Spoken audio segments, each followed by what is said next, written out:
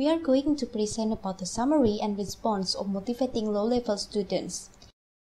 This presentation is presented by Samuel Timotius and Vinna Veronica. Paul argues that to motivate low-level students to communicate, teachers should not have to explain everything to the students. Instead, give more puzzles and mysteries. Like Paul did in his introduction, just show some words and ask the students or audience to guess what it is. It is better for teacher to be unclear, so they pretend that they do not know, so that students have reasons why they should communicate to the teacher. Teachers should maximize anticipation as it is the same as learning. This means that teachers should give chance for students to try answering and give their opinion. By giving chance and appreciating their answers, teacher will make students realize that they have read something. In so doing, students can be more active as they realize that whatever they say has meaning. Paul's main points of his presentations are First, create puzzles and mysteries where students are enabled to try. Second, be valuable so they have reasons to participate. Third, don't explain so that they can develop their critical thinking. Fourth, help students work things out by trusting them to make choices.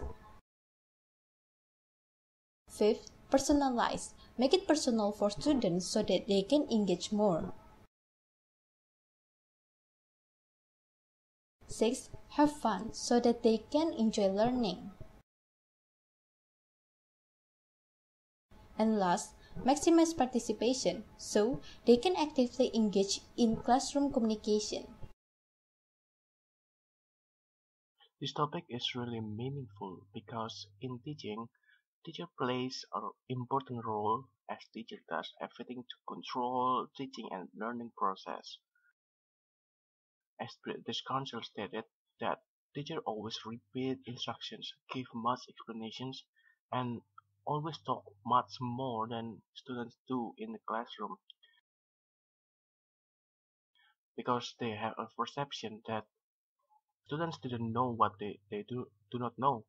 So we as teachers have to explain things that are really basic so the students can know what they know and they can get the exact information for our subject However, in Paul's idea, uh, teachers should be more passive and let students be, be more active.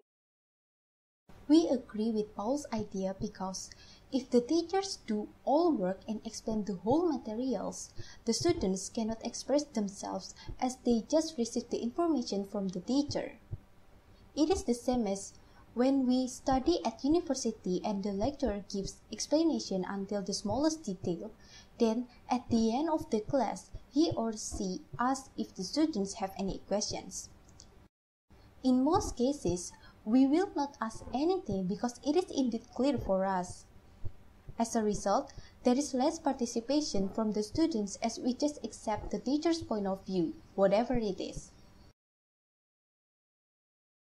However, Paul argues that if students participate less, they will not learn a lot. It is also supported by British Council that teachers should reduce their talking time explaining the materials for many reasons. First, if teacher explain and talks too much, student will be bored. It will reduce the opportunity of learning as they lose their concentration. Second, if teachers give students information that they could be finding out for themselves, such as vocabulary items, they may not be able to identify whether the students have really understood or just remember what they have said. Third, if the teacher takes the dominant role in classroom discourse in terms of initiating the topic, allocating turns and evaluating comments, the students do not have responsibility for their own learning because they just follow the teacher. As a result, they have no enough opportunities for sharing their opinion and developing the communicating speaking skill.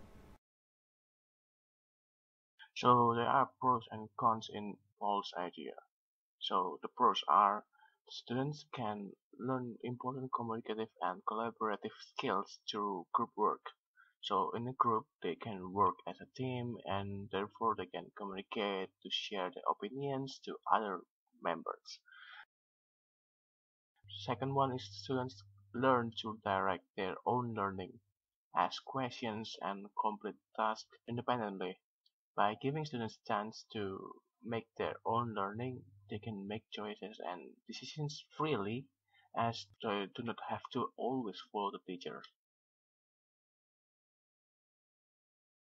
So for the cons, uh, the first one, teacher must attempt to manage all students' activities at once, which can be difficult when students are working on different stages of the same materials. And also the second one, because the teacher doesn't explain to all students at once, students may miss important information that they have to know about the materials.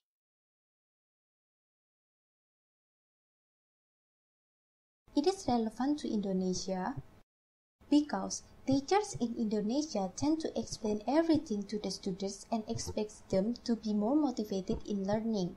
In our opinion, actually it is a kind of method that can reduce students' participation.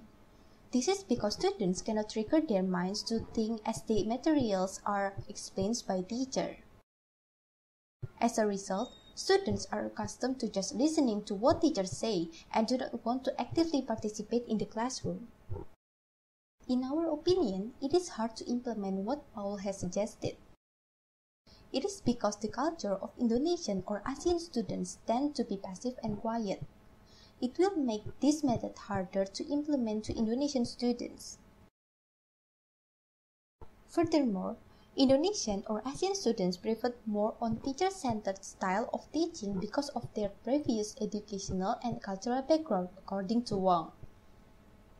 This can be proven from our own experience, particularly at schools where we just listen to the teacher's explanation and do the activities related to it. For these reasons, we cannot just directly switch to implement the method proposed by Paul of motivating low-level students to communicate at one time. However, we can adapt and implement it gradually. So there are some activities can be done based on Paul's idea in the classroom. So first one is drilling.